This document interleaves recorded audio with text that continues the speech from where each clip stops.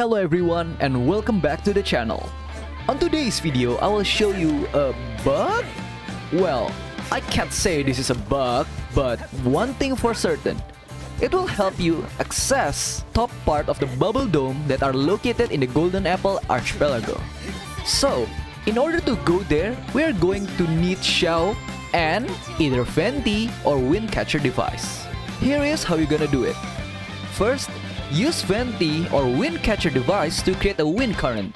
Then, you'll need to use Xiao and ride on the wind current to glide upwards.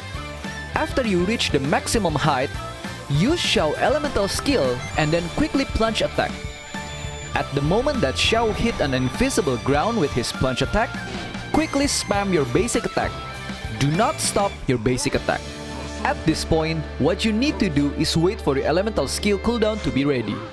After it's ready to be used, quickly jump and use it. And then, back to spam your basic attack again.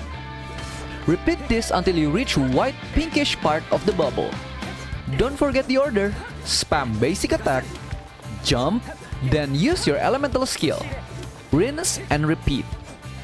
After you reach the white pinkish area, you can stop your basic attack spam and walk until you reach the top of the bubble. And that's how you can access the top part of the bubble dome.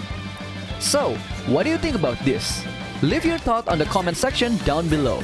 And, like always, I'll be seeing you guys in the next video.